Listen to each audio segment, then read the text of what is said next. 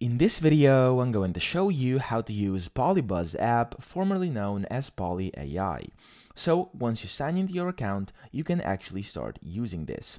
So the first thing is the home page, and on here you can see the featured um, kind of characters as well as you can explore different characters over here by categories or you can just search by different names and characteristics and then chat with them by just simply clicking on them okay? So let's say I'm gonna click on this one you can start chatting with them instantly. Now that's the first thing. And then the second down below, as you can see, is the chat icon. If you click on it, you can see and chat with your message assistant, or you can talk with your characters that you have talked with in the past. So for example, I have this instant character. If you click on it, as you can see, you can see your message history and just talk to him.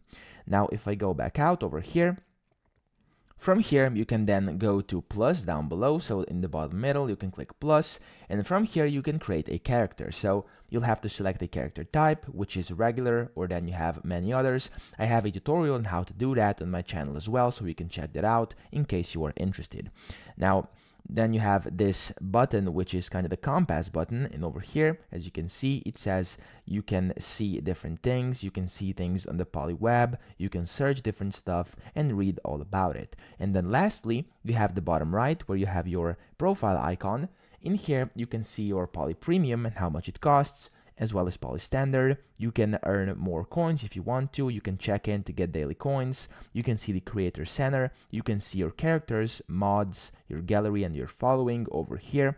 And then you can also, up top right, you can check your settings and adjust settings if you want to uh, essentially change something that you would like to change.